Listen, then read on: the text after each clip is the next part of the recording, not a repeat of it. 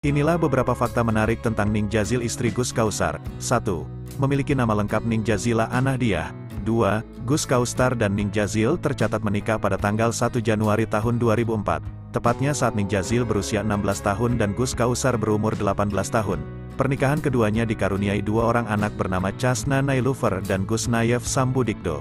3. Ning Jazil adalah putri dari Kiai Haji Abdul Hamid Baidowi, yang masih memiliki garis keturunan dari Kiai Joyo Tirto, Mbah Sambu hingga Pangeran Benowo, Putra Jaka Tingkir, Sultan Pajang Hadiwijaya. 4. Adapun Ning Jazil merupakan keponakan dari Mbah Mun, pengasuh pondok pesantren Al-Anwar Sarang, Rembang. 5. Aktif di media sosial Instagram, ibu dua anak ini cukup aktif upload kegiatan dan memberikan kata-kata motivasi ringannya.